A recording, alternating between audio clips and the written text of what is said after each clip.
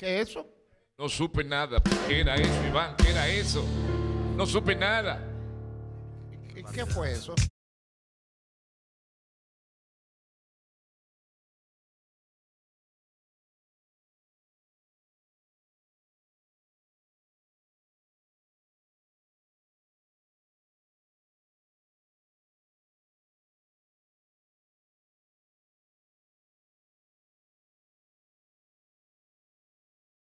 Estaba conversando con el presidente de la DNCD felicitándolo por algo también que, que había ocurrido. Creo que lo del limón no se había todavía Todavía no se había no publicado. se había partido. Sí, tres toneladas de, de una sustancia presumiblemente Pero cocaína en el barco sábado de la mañana, cuando yo hablé con Cabrero Ulloa, creo que lo del limón no se había partido. Todavía no se había partido, pero ya, ya se partió ahí.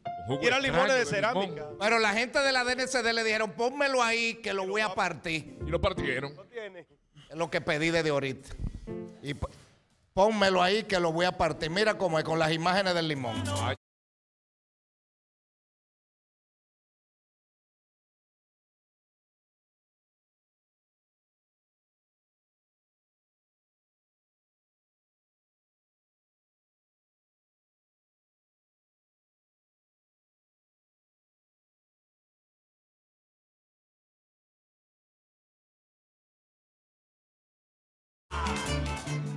¿Tú te imaginas que uno, que esos limones lleguen a uno que te haga un jugo y uno hace su limonada? Todo el mundo quede loco en la O casa. sea, eso es terrible. dime, Gerald. Yo tengo, tengo el informe de esa noticia ya. A ver. Dice aquí, eh, dice Cabrera Ulloa que no fueron delincuentes cualquiera, que eran tigres ácidos. eh, Dice Cabrera Ulloa que va a hacer eh, la investigación hasta sacar el jugo. Dice Cabrera Ulloa que eso se hace mucho en Perú, sobre, sobre todo en Lima. También dice Cabrera Ulloa que al- a la DNCD que no deje que los delincuentes le tiren esa cacarita. Y en el caso mío particular, tal vez yo no sé de droga, pero de vitamina C. ¿Tú sabes qué? Quizás quiera, querían hacer limonada coco. Coca. Cuidado ahí, cuidado ahí. Por ahí se... Pero se espera que también le- Cabrera esa, Ulloa esa última parte del libreto de Germán. puede- Ey, bueno. se espera entonces que Cabrera Ulloa pueda decir, como no ha ocurrido en otras ocasiones, quiénes son los responsables, de Sí. dónde venía la droga, para dónde iba la droga, pero no lo que utilizan en el medio, porque hacen investigaciones profundas. solo es capturar, Esta es ¿no? la segunda, el, la- la- el segundo alijo más importante en los últimos años del país.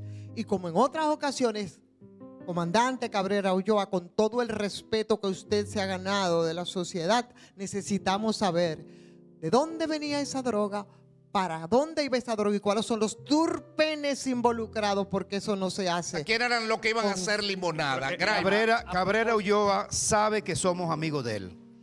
Sabe que, te- que es un hombre Que correcto. valoramos lo que ha hecho. A él y a su hermana María Teresa Cabrera. A los dos. Gente de compromiso de esta sociedad. Ahora, mi querido amigo Cabrera Ulloa, tenemos que abordar el punto que está diciendo Ivón Ferreras. No nos damos cuenta porque no se revelan quién es el dueño, quién la envió. Quizás no quién la envió, porque las redes de narcotráfico son complicadas a veces. Pero aquí, carajo, ¿quién, ¿Qui- quién la iba a es? ¿Quién? A, a dónde era que iba? ¿Por qué nada más agarran los choferes de la patana? ¿A qué, a qué punto ¿Qué punto? de venta iban los ¿Dónde limones? están los casos que no lo vemos en justicia? Ese es el punto, ¿eh? El punto. Ese es el punto. Estamos, estamos hartos de ese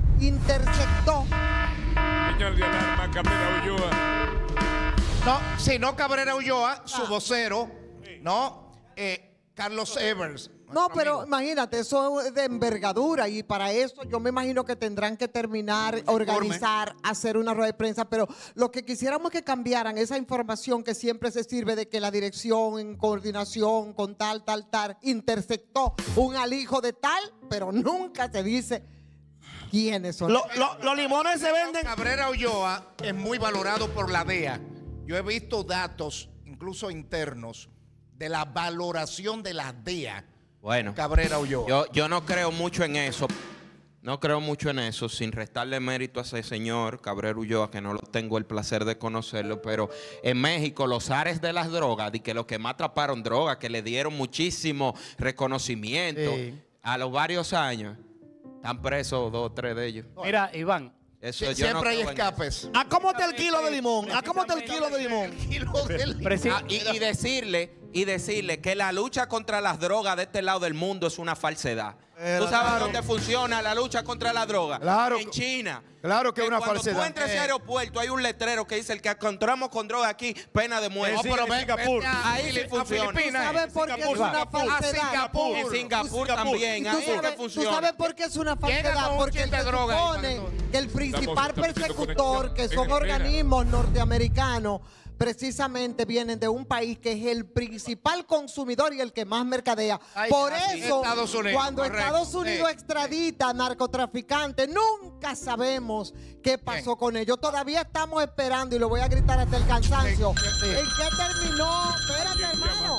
¿En qué terminó la, la, la investigación del caso, por ejemplo, de Figueroa Agosto? Es, es que hay un tema de conexión. Todavía está latente. Bueno, vamos a darle continuidad. Mientras tanto, mis felicitaciones a Cabrero Ulloa. En este gobierno se ha agarrado más droga que en los últimos 20 años, con estadística.